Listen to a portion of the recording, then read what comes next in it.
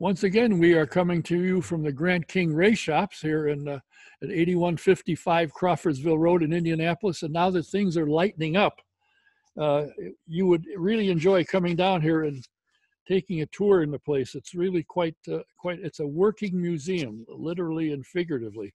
And if you'd like to stop by, call ahead. The number is 317 820 3959. It's worth the trip down to see. It's really quite the place. As you can see in the background, there's more cars. Place is full of cars. You'll enjoy it. Today's show is presented by Honda and Honda HPD, the Indianapolis Motor Speedway, the NTT IndyCar Series, SVRA, and McGilvray's Pub and Eatery and Speedway. And by the way, McGilvray's is open. You've got to go there. You won't believe what you see, and it is currently non-smoking. So stop on by. Founded in 1993 to spearhead entry into uh, IndyCar racing and Honda Performance Development has overseen successful racing efforts at all levels of the sport, from karting and quarter midgets to IndyCar and prototype sports cars. H- HPD offers race engines and competition products for professional, amateur, and entry level racers. For more information about HPD and the company's racing product lines, please visit hpd.honda.com.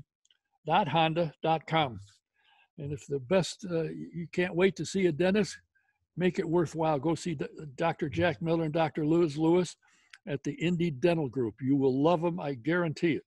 Give them a call, make an appointment. Number 317 846 6125. And if you're like me and have constant trouble with your computer, we have a new computer guy at A Plus Affordable Computer Doctor. Steve Fries is the man. Call him, tell him your problem, and more likely than not, since he's a doctor, he makes house calls. Give him a call. Number 317 328 0766. And again, I've got to thank the Speedway Cable Community Cable Company for their editing and helping us put this program on air. Um, you wonder why these guys and gals want to drive race cars at 220 miles an hour. Well, there's a way to find out. Take a ride for yourself in the Ra- Indy Racing Experience two seater. It'll be the thrill of a lifetime. I can almost guarantee that. So go to indyracingexperience.com and in the promo box put DK1, you get a 50% discount. Pick out your date, DK1 in the pro, promo box and get a discount. Or You can call Shonda at the office, 317-243-7171. I guess, again, ask for Shonda Kennedy. Is it time to uh, redo your insurance for your home, your car, your commercial property? Do what most of us have done. Call Mike Pardee at VP Insurance. They're located at 5004 West 16th Street in Speedway. Give him a call, tell him what you're looking for. He'll tell you what he can do and you'll find like all of us have found you get better coverage for less money. His office number 317 248 0070. That's VP Insurance. And if you are a vintage fan or a uh, Trans Am fan, you need to go to svra.com and subscribe to Speed Tour magazine. It's a great first class magazine, great pictures, great stories, and it tells you places to visit when you go to the various venues around the country. That's svra.com and subscribe to Speed Tour. And while you're on the website, look at the schedule. Unfortunately, the uh, invitational at the Indianapolis Motor Speedway has been canceled, but they'll be performing around the country, hopefully. Um, do you have a vintage car? Would you like one? If your vintage car need to be restored, Grant King Shops can help you. Just give them a call, tell them what you got, what you need. I'm doing an interview. The number is 317 820 3595. If you have engine problems, they can help you there too. So give them a call. Grant King Race Shop, 317 820 3595. Um, my guest is a gentleman who started out his broadcasting career as a young boy uh, with a tape recorder, practicing calling races into a tape recorder. His goal was someday to get to the pinnacle. He's worked his way through. He's a college educated young fellow. He's been uh, educating the youth of central Indiana at both uh, Beech Grove and Monrovia. He's a foot, former football coach. And he has uh, broadcast has been working his way along. And I used to, uh, unfortunately, we did it where nobody could see I was with him. When he was calling races from the corners, I was with him uh, to help him out. So uh, I've known the man a long time, and strangely enough, he still talks to me he is he has elevated himself to a dream where he dreamed to be, and he's there. He is now the lead announcer for the IndyCar Series, and he is known as the voice of the Indianapolis 500. Please welcome Mr. Mark Jaynes. Thank Mark, you, how are you?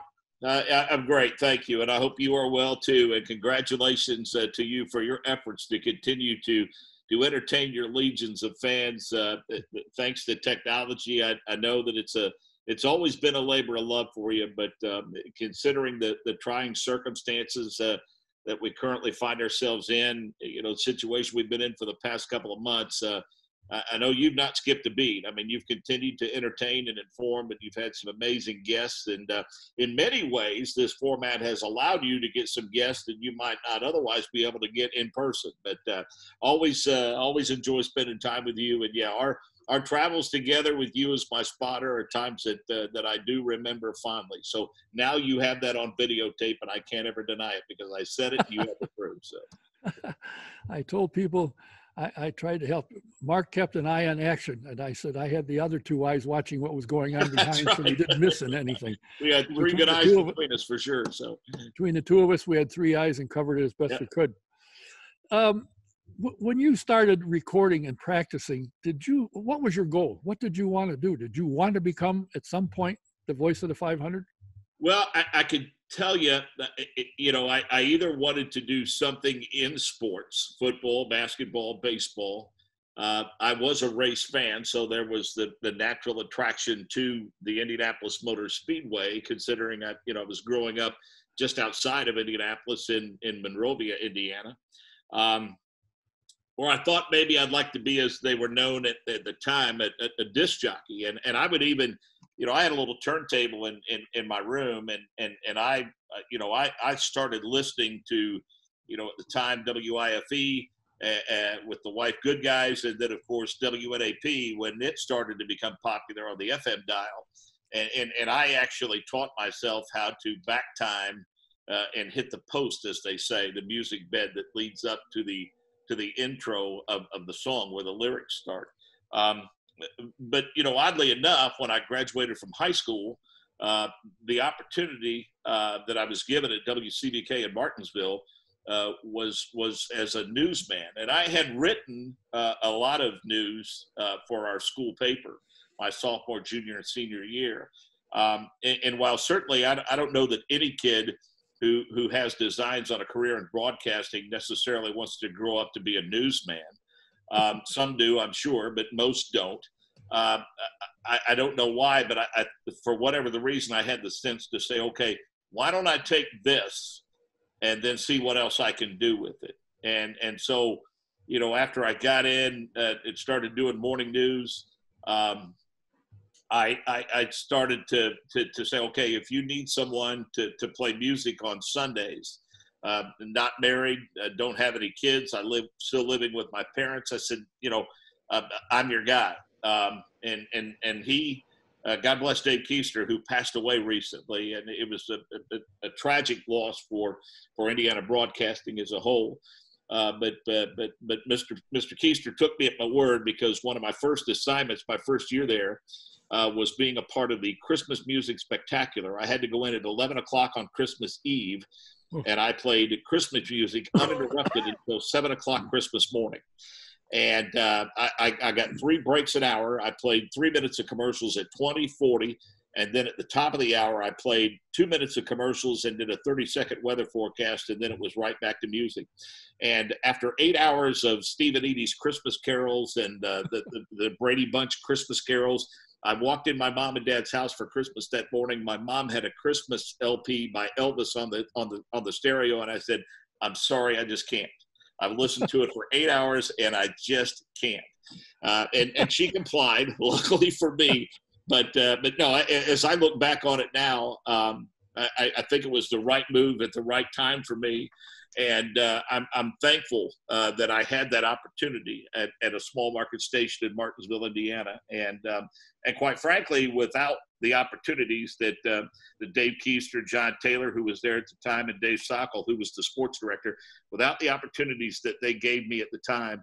Uh, there's no question that, that I'm not sitting here right now doing what I'm doing as, as the voice of the 500. You know, it, it's interesting because um, when I started and and you came on board and when the Indy Racing League started, I started paying attention to the radio network, the IMS radio network, and uh, I looked forward to races because sitting in the production trailer with you, and Dave the King and Chris Pollock and Wally. It was a, a stand-up comedy hour from the time you opened the door until the time the race started and you left. Good grief! But it was a fun group and everybody got along. And I think it obviously obviously showed because the listenership skyrocketed. Yeah, and you know, it was interesting. I remember when Dave Wilson first started traveling with us, and, and we would all sit together, as you mentioned, at dinner in our production truck or whatever. As you know, Dave for years was a stand up comedian. And I think the thing that he was most surprised about is that he would tell jokes and we would actually laugh. And Dave was not used to that in his career. That was a, that was a bit of a departure for Dave. And so, you know, he was able to finally realize that yes, to a certain crowd, he was indeed funny. And uh, I, I, would say that, that, that, the more the adult beverages flowed at dinner, the funnier Dave got. I don't think that's an accident. But no, you, you bring up a great point. I mean, you know, if, if, if we're all uh, going to travel that much together and spend that much time together, uh, there first and foremost has to be a healthy respect. But, but as you accurately pointed out, you know, there were one or two people that came on board with that deal, and quite frankly, their skin was not nearly thick enough. And uh, and uh, it wasn't the pressure of the job. Uh, it, it, it, was simply, you know, the, the, the, the jabs and daggers that we would uh, playfully uh, toss at one another. But, you know, I, I think my daughter put it best. Um, when I was in turn three, I would take my children when they graduated from high school, I would take them with me as my spotter as a graduation present for them. And it, my daughter came you know we we at that time we did the uh, we did the caravan in for the old bush stadium and and then we would have breakfast and and have the meeting and everything. And and, and my daughter on the way home from the race that evening i said well what'd you think? And said you know dad um, she said if i may be brutally honest here she said it is perhaps the largest collection of first class smartasses i've ever seen assembled in my life she said, but the amazing thing is when you turn the mic on and you guys go to work, it's all business and you're the best at what you do. And and and I I've never forgotten that observation that she made. And and I think that you know I'd like to think that that pretty well describes us to a T. Uh, how how has I IMS Radio Network elevated itself over the years? How has it improved or how has it gone backwards? How how is it from when you first started? Well, I, I think what I'm most proud of is that if, if you go back, uh, if you download the TuneIn app, for instance, um, on your smartphone or listening device, uh, we have 24 7 uh, vintage races. you might hear the 1967 uh, Indianapolis 500, and then after that, you might hear the 2015 race from Long Beach. Uh, but it's all vintage races uh, from from the IndyCar series, from the IRL, and then going all the way back to the 1950s. And uh, I, I, think if if you go back and, and listen to Sid's era, um, and and then Paul's era, and then you know the two years that Lou Palmer was the anchor, then Bob, then Mike, then when Paul came back, and now to me, I think what I'm most pleased about is every anchor has has has put their spin on it. I mean, let's face it, Sid cast the die, set the template, whatever the case may be. Um, and, and, and while I, I'm not sure that the way the broadcast was produced uh, in, in 1967 uh, would be effective in 2019. Uh, I still think at the time they were the best at what they did. And keep in mind, they only did that once a year. Um, you know, when, when Paul took over for Sid, um, you know, Paul kind of shut the door to the broadcast booth. He did not want the parade of guests in that that that Sid enjoyed. Paul wanted to focus on the race, um, and and then I think you know Lou uh, uh made some some changes and and modernized it a, a bit. And then when Bob took over, Bob created separate, and I'm speaking in broadcasting ease here. Uh, there's off-air channels called intercom where we can communicate. Bob wanted to separate the pits from the turns, and he hired a pit producer, someone to communicate with the pit reporters so he could focus more on the structure of the broadcast and calling play by play. Um, Mike, I think, has to be given a lot of credit because we had a lot of storytellers in the turns once upon a time because cars moved so much slower in those days. And as the speed of the show and the speed of the cars progressed, Mike King, I think, is to be commended for bringing in an Adam Alexander or Chris Denari. I think putting me in the turns, putting guys in the turns, leaving Jerry Baker in one, guys that had background in sports play-by-play. Uh, that was a necessity because you didn't quite have time to tell stories. You know, I mean, Howdy Bell one time in turn two, um, I, have heard it, and I actually asked him about it. Howdy Bell one time made the observation as Johnny Rutherford was on the parade lap. Well, Johnny's really going to be a happy boy, and I tell you, I know Johnny very well, and he likes homemade strawberry ice cream. So he's he's going to be a happy boy when he gets to victory lane. I, I can't imagine Michael Young making a homemade strawberry ice cream reference in turn two because by the time he did that, the car would already be in the north end. Uh, but but but but then you know I, I think uh, you know Paul continued that tradition. Um, I, I, think the thing that I added is, you know, we have sponsorship commitments. Uh, we have guest commitments that we simply must honor.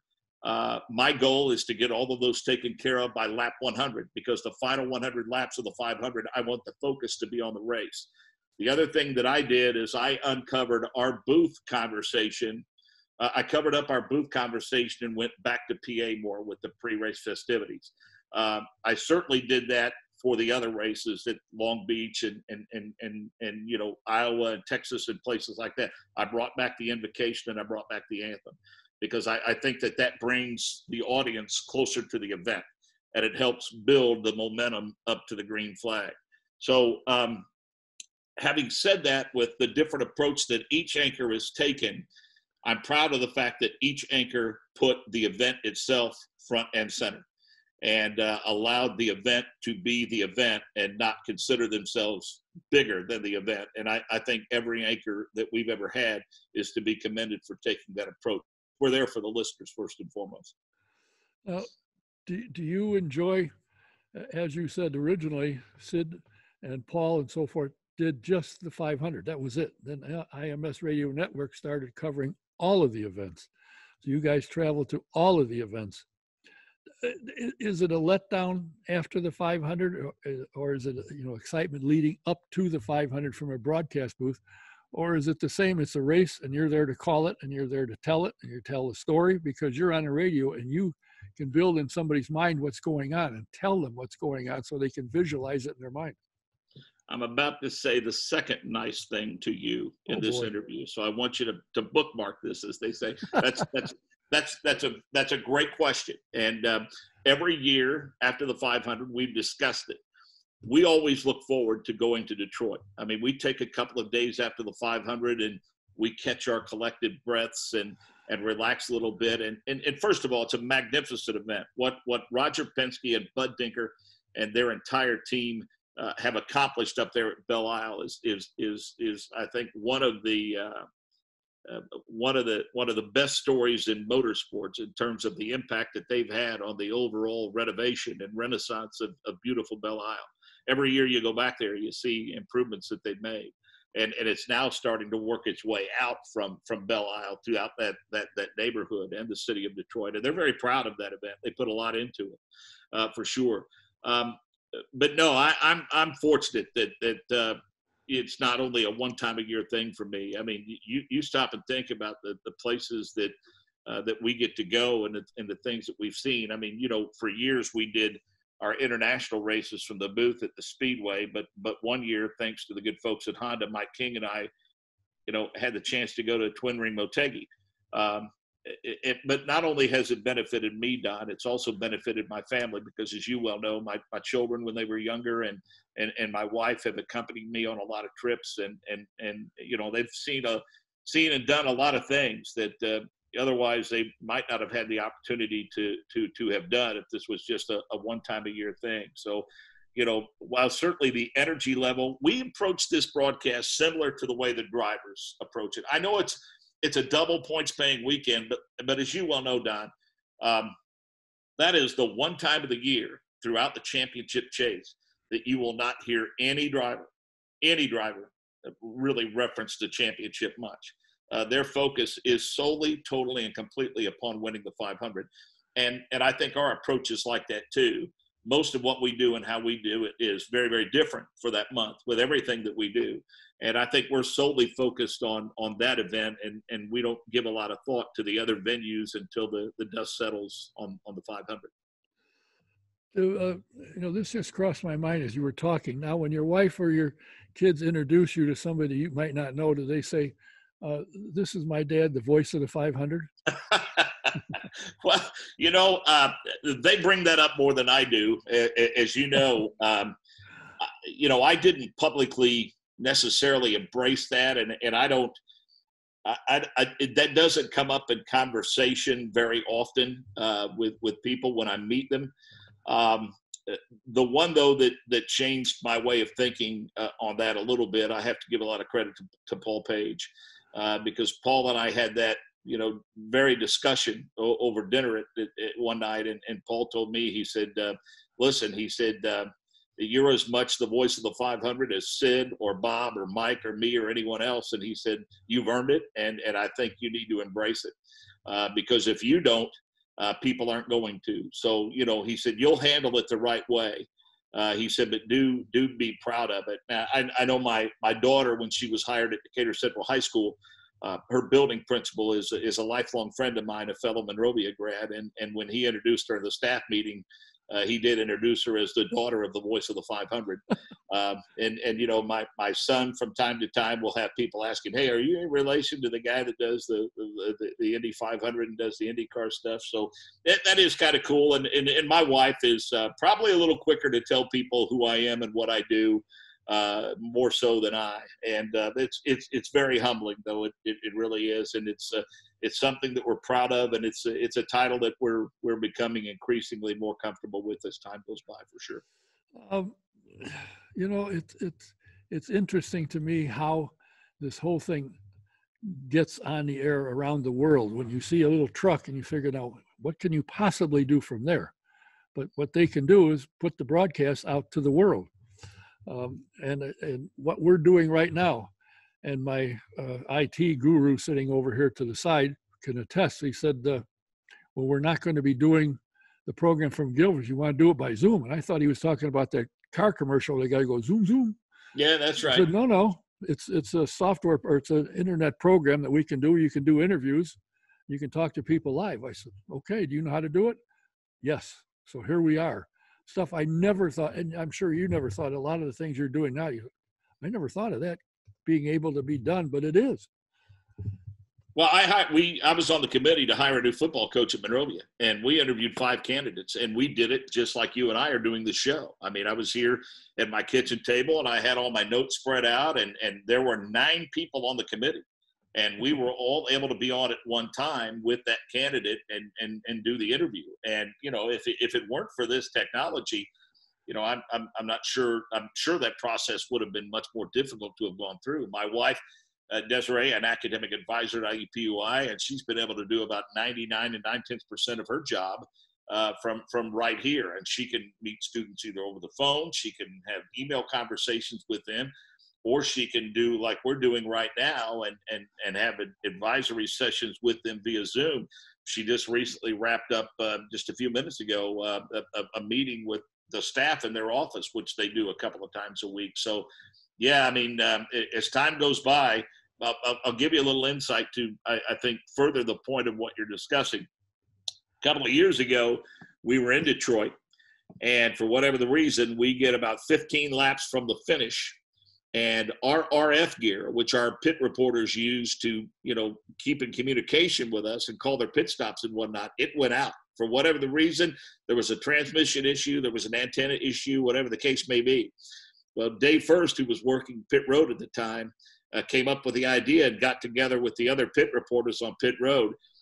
And what they did in the post race, uh, the second and third pit reporters got second through fifth. They went to victory lane they did their interviews with the drivers of the post race on their cell phones.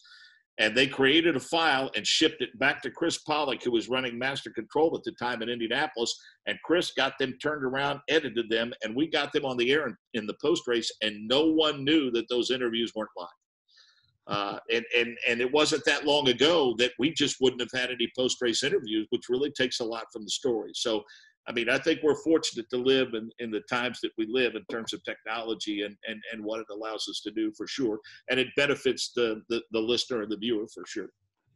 Uh, you mentioned uh, early on that you have sponsor commitments that you have to uh, take care of during the broadcast.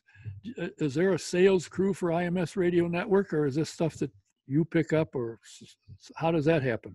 Well, I think that um, you know, by and large, especially for the Indianapolis 500, I think over the past couple of years, you know, we we've employed agencies on behalf of the radio network, but uh, you know, I, I, think over the past couple of years, those responsibilities have been folded into sales and marketing uh, for IndyCar and now now Penske Entertainment. Um, and I think that makes a lot of sense to to to do it that way because you know we're we're all you know one big happy family, um, and, and, so you know I think there are some opportunities uh, that we've had in the past to go out and and secure some sponsorships outside of what uh, that group is doing. But uh, but I think by and large, as time goes forward, uh, we're all one big happy family, and and I think that's the way it was for a number of years, which I can gather and glean from from listening to the shows. I mean you know, I, I think the sales staff at IMS went out and took took care of that, and then and then worked with the, the Indianapolis Motor Speedway Radio Network in terms of what sponsors they had commitments to. So um, I, I think what that does that eliminates you know layers and confusion and things of that nature, and kind of funnels it all into into one general area and and makes it easier for everyone to determine you know who's going to be used and, and where in terms of their sponsorship and and and and we can we can offer too as a, as a radio network uh, the kind of immediacy and I think a value added element that I'm not sure that you can get uh, from from you know the television partner just by the way that it's structured. For instance, if uh, if Rahal Letterman Lanigan Racing has a sponsor uh, at the racetrack. Uh, we'll offer them an opportunity to come on a practice session or a qualifying session or maybe even in race.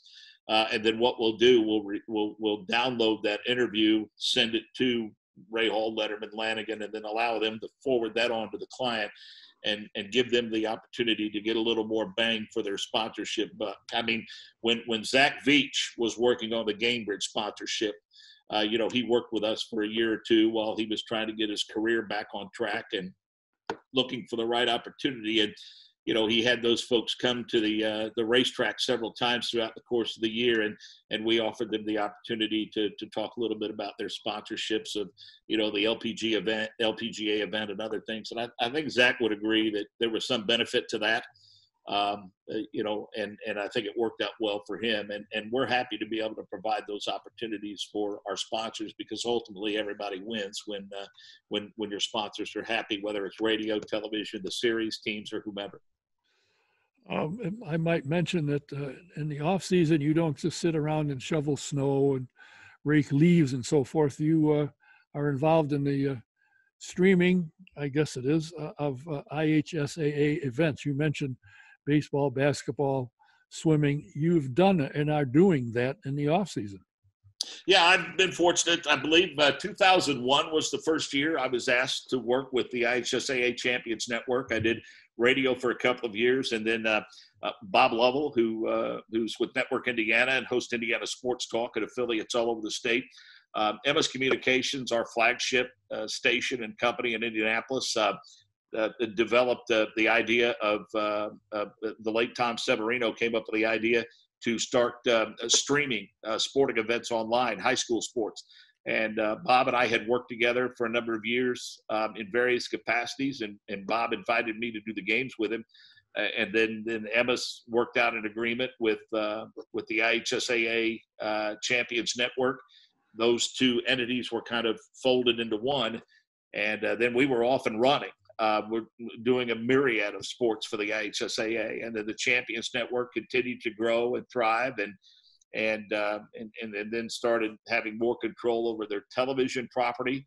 Uh, started expanding the number of sports offerings beyond just you know the traditional stick and ball sports, and um, it, it, literally was in the right place at the right time, and had the opportunity to to kind of transition television uh, for football, boys and girls basketball. Now our, our wrestling show, uh, state championship in wrestling is on television. Uh, some of the other sports uh, remain streaming, but um, uh, we we were kind of there in its infancy and and, and have enjoyed being along for the ride and, and helping to build that entity for sure. Now this year there's been a change in the booth.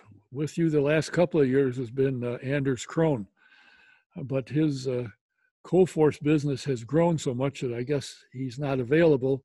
as much this year. So Davy Hamilton has returned to the booth. Uh, I thought, you know, I thought Anders did a great job, as did did Davey, and I always found interesting with them. They could see something that w- could happen, and they they understand what does happen because it's happened to them. As Paul Tracy points out a lot of times, what's the big deal with that? I've done that. It's just a racing incident, so I, you just go on. I think uh, Davey coming back into the booth with you is is a step certainly in the right direction. Well, I know Anders likes to say that it was because of his Coforce business, but quite frankly, Don, I, I, deal with kids all day, every day in school, and, and I'm tired of dealing with a child as I've dealt with the, and, and, like Anders. I'm telling you, man, you talk about a Red Bull, you talk about an energy drink. I mean, we when the first time Anders Krohn ever worked uh, an Indy Lights race with me in Baltimore several years ago. I mean, it was kind of like with Zach Veach uh, and, and, even Kyle Kaiser more recently. It, there was not a lot of preparation. There was not a lot of do this, do that. I mean, the guy just just hit the ground running. And and I always go back um, to Anders and the, and the thing that that I'll never ever forget. We were at Mid Ohio and we were calling a practice session, and and Alexander Rossi came in front of us down that short straightaway right outside the booth. And as he went into turn one, Anders was watching the multi screen monitor, and there was a, the helmet cam shot of his hands in the cockpit. And Anders said, Okay, now, now see here as he goes into turn one, he makes that left hander. You can see that wheel's really fighting him. And then as he gets back into the throttle, you see he wrestles the wheel back. And so for whatever the reason, I had the sense to say, okay, this is going to be pretty good here. So I said, Anders, I said, I'll tell you what, why, why don't you stay with this? I'll lay out, you call this lap.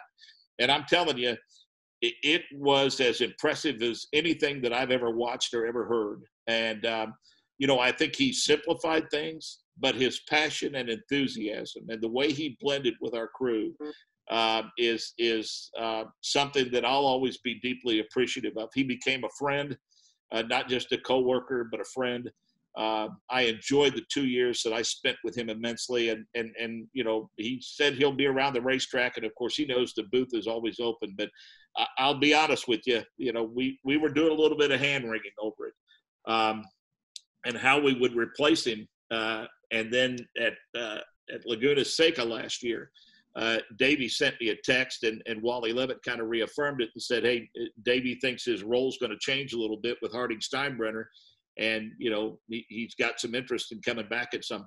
And so, you know, I texted him right away. We met that morning in the paddock, and you know that deal was done uh, within just a few minutes. And uh, again, there's a familiarity there that Davey and I had when we first worked Indy Lights together, and then moved to the IndyCar series, and uh, I think Davey's last couple of years uh, dealing with this new chassis and being involved with a couple of different race teams, I think is is going to be really beneficial in terms of the insight.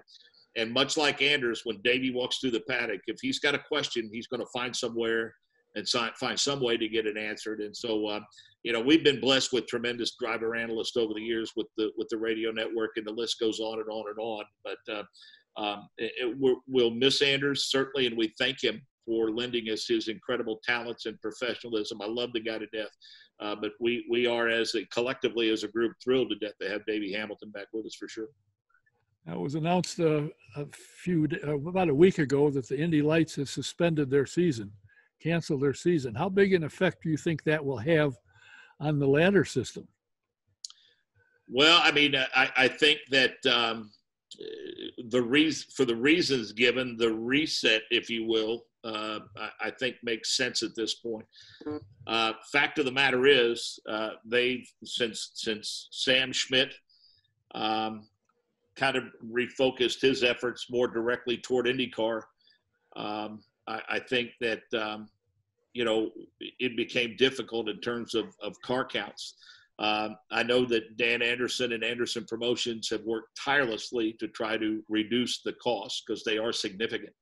Um, and, and I think they've made great strides toward that. Um, but I, I, I, think more work needs to be done in that regard, and I think that's what they pledged to do. Um, I think it's very, very important for something like that to exist. And if you don't think it is, just look up and down the roster of the drivers that will start. Um, you know, the race Saturday night. And let's not forget, since since Dan Andersen took that over, sure, there's not been the growth in Indy Lights that maybe you would have liked to have seen in terms of car counts. But, well, I think you know the the drivers. That's the easy thing to point toward.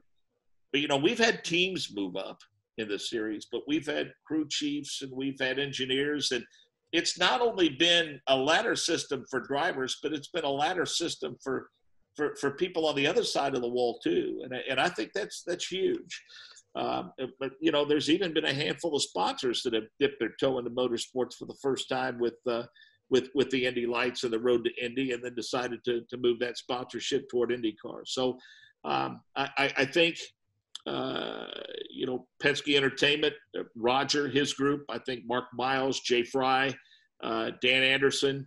Uh, that whole Andersen Promotions team, I have every reason to believe that um, that they'll they'll work tirelessly uh, on the reboot, and uh, hopefully we'll see a, a, a bigger, more stable uh, product return uh, next year for the season opener. Because I, I, I mean, I think it's something that everyone is in agreement that the series sorely needs to ensure that uh, we have a, uh, a, a, a, more than adequate feeder system for the NTT IndyCar Series.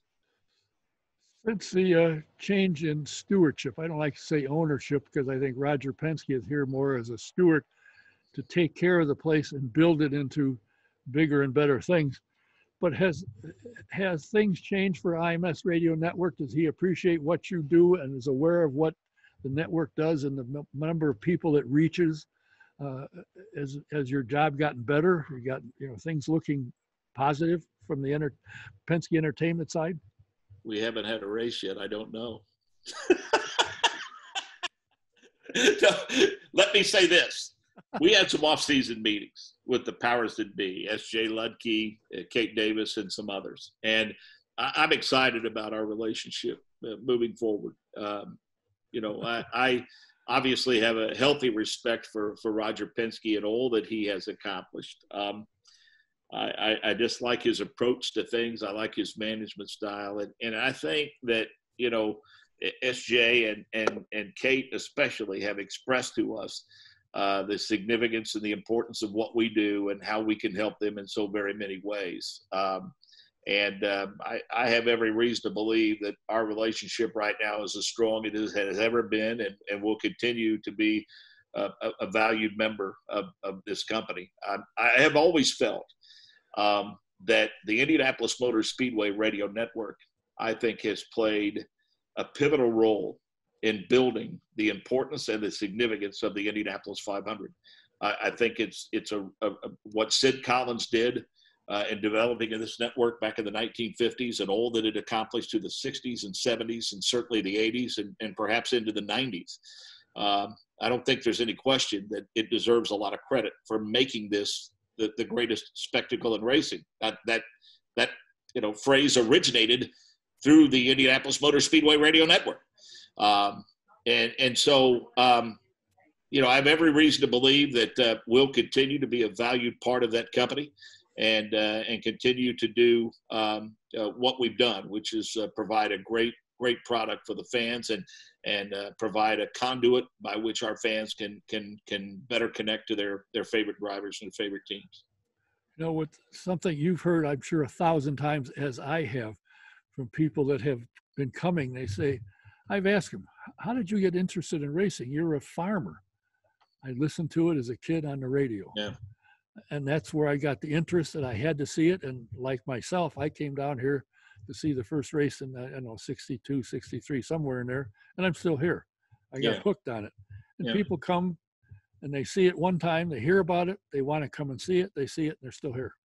It's amazing. Yeah, I, I, and you know there are stories like that that are that are woven into the tapestry of that event for sure. And you know, I go back to 1996, my first year with the network, and you know, I knocked the rust off certainly, um, or I should say, had the rookie stripes pulled off to a certain extent by going through you know the second weekend of qualifying because there were two weekends at that time, uh, and then certainly on carb day. Uh, but then on race day, I, I think the magnitude of what I was doing finally hit home to me because I walk into our old offices, uh, which under the old main grandstand and, and master control tower configuration, we had offices on the ground floor below the tower. And so, you know, I walk in race day morning uh, for breakfast, and I walk in, and there's Bob Jenkins, there's the late Gary Lee, there's Howdy Bell, there's Chuck Marlowe, there's Bob Lamey, there's Ken Double, uh, you know, and the list goes on and on and on. Darl Wible comes by and says hello. Uh, Doug Zink, Ron Carroll, all of those guys are around, and I'm thinking I, I'm I'm clearly in the wrong room. I don't I don't have any business. That I'm I'm corn-fed kid from Monrovia, Indiana. I'll I'll be leaving now um, you know, they all made me feel welcome. But I, I think the thing, as I walked in there, I realized the impact that that all of those people had on my life and building my passion and enthusiasm uh, for the Indianapolis 500. And and to think now, um, you know, as I've discussed with Jake and and, and Jake Query and um, Nick Yeoman and others, I mean, we have achieved a certain level of, of professional immortality by simply having been a part of this radio network. Uh, and that's a difficult thing to achieve in, in any career. Uh, I, I, suppose mine has been heightened from beyond just being a member of the Indianapolis Motor Speedway radio network to being the anchor. Uh, and you know, you go into the museum and you see the display, and still to this day, Don. I mean, when I see Sid Collins and Lou Palmer and Bob Jenkins and and and and Paul Page. I, you know, I'm thinking, do I? I mean, should I, you know, be up there and and uh, to be able to to have the opportunity, you know, to be in that display with Mike King, who I worked so closely with for so many years in Terre Haute, traveled so many ra- to so many races with. Uh, that's pretty meaningful. But the most meaningful element of all of that you know, we did a field trip, did some stories in the museum uh, right before this all happened with school in early March to take my students in there and show them that display and for them to see it. But more than anything else, to take my mom in there and have her see it uh, is is is pretty cool for sure. Well, the first race of the year is in just a couple of days on Saturday, June the 6th. And it will be before nobody, essentially. Uh, and I, I understand that if I get off my couch or get leave from in front of the television, I can go down on 16th Street and join you as you broadcast the race. So you guys are not going; you're going to call it from right here at the Speedway or in in, uh, in Indianapolis. Yeah, we. Um, I'm going over Friday, as a matter of fact, to check out the satellite feeds. I mean, we'll have the the multi-screen monitors we need. We'll have timing and scoring, and it'll be myself, Davey Hamilton, Jake Query, and and Chris Pollock will be in our Indianapolis studios and then our chief engineer, Rick Evans, and Nick Yeoman uh, will actually be traveling to Texas, and Nick will be uh, our, our lone pit reporter. Uh, now, Nick will not have the opportunities because of social distancing. Nick won't have the opportunities to do any face to face one on one interviews. He's not going to be climbing up on pit boxes and talking to crew chiefs. Um, but, but, you know, he'll certainly be able to call pit stops and keep track of those pit stops. Um, we have already prepared some interviews that we'll use during the practice session about drivers with their thoughts and impressions. Thanks to IndyCar Media uh, for all of the interviews that they've done with drivers in preparation for this. They're going to be very valuable for us in terms of having information to share with the listeners during the practice session. Um, and then, you know, we'll we'll go on at eight o'clock uh, Eastern and um, only have about a 15 minute pre-race show, which is much shorter. And then, of course, uh, going to be interesting to watch it unfold, Don. I mean, 35 laps on a set of tires is what Firestone is telling everybody. Uh, we'll see how people handle their pit strategy. We'll see how the handling of the race cars go. Uh, we'll see how the aero screen does with the sun and with the heat. It's going to be well over 100 degrees, which is no surprise. It's Texas in June, for God's sake. Um, but, uh, uh, you know, you got a lot of drivers who have never driven on that track before, not been in an Indy car before. Um, and, and I think while all the drivers talk about taking care of one another and being careful to turn one early, uh, as I've heard a lot of guys say that they're all well intentioned and have every intention of doing that, then they put the helmet on and go racing, and that's where the disconnect occurs sometimes. So well, that's we'll what it's called. It's called a race, and that's the whole idea. And, and, and what you're all shooting for is number one, cross that's the right. finish line first. That's right. Well, I'll tell you what, it's it's always been fun talking to you. We chat from time to time uh, on the phone. If I hear something or something goes on, you'll give me a holler. Uh, you did uh, say that there will be no, just came out this morning, uh, uh, and we're doing this on Thursday, that the Brickyard will have no fans. Yeah, that weekend uh, it was announced by uh, Penske Entertainment uh, CEO and President Mark Miles that um, you know basically what it boils down to. And we, I, I guess we kind of saw this coming uh, because this reopening plan has happened in stages between the governor's office and, and the various entities around the state. Indianapolis has been a stage behind with Mayor Joe Hogsett because you know the, the overwhelming majority of cases uh, uh, have have been here in Marion County, and and and so uh, I, I don't think they felt as though that those numbers would match up to the point to where Marion County and the city of Indianapolis could jump ahead a stage or two to align themselves with the state. Uh, and again, uh, Mark Miles, Jay Fry, Roger Penske, Doug Boles, uh, got to give them a lot of credit. I think they're to be commended for their proactive approach to all of this, going all the way back to St. Petersburg in September. It's not been reactive; it's been proactive, and this is just another example of that. Difficult decision for them to make, but we're three weeks before the event, and if they're going to make it, as they said, they had to do it now. And I'm disappointed for the fans, obviously, uh, but I think you know once we get past that, hopefully things continue to improve and we'll be able to allow fans in in into facilities and into the Indianapolis Motor Speedway by the time we get to the to the 500 in August. But uh, yeah, it doesn't look like we're going to have any fans. But again, uh, we'll be there. IndyCar Radio. We'll have our friends from PRN join us for that race weekend, and uh, we'll do what we always do: make you feel like you're there if you're listening to us. We hope you do. And you do it well. Thank you, Don. And I've I've got to commend you for sending Nick down to Texas. I'd I'd love to see him bouncing from one pit to the other, from one end of the pit lane to the yeah. other. I've, I've, I've, told him to be careful for sure because it's going to be plenty warm down there, and I think he'll be able to stay far far enough away from the pit boxes and the fuel tanks that I don't know that he's going to have a fire suit on, but he'll have his mask on for sure, and he'll uh, follow the guidelines in terms of safe distancing. But we wish him and uh, our engineer Rick Evans safe travels, and we can't thank them enough for their commitment to our product and uh, and, and, and being so so willing to go down there. It's uh, it speaks well of them and what we're all about, uh, and that is providing the best show possible for the fans.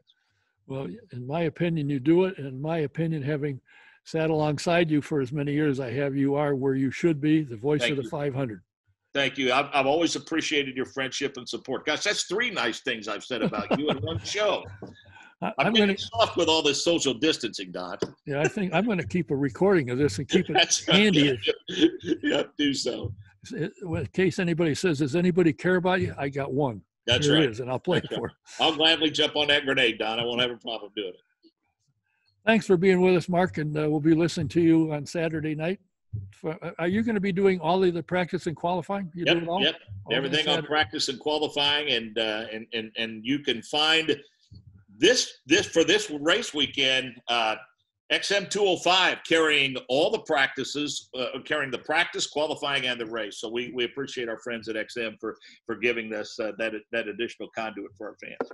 Well, now everybody knows where to find you. We look forward to listening to you. Thanks for all being right, a guest. Take care. Appreciate it. My guest has been, as you heard, Mark Jaynes, the voice of the Indianapolis 500 and the lead lead announcer for all of the IndyCar events. Um, we thank you for watching, listening. We have some more on uh, upcoming, so stick with us. We will be back. Until the next time, Don Kay saying thanks. See you next time.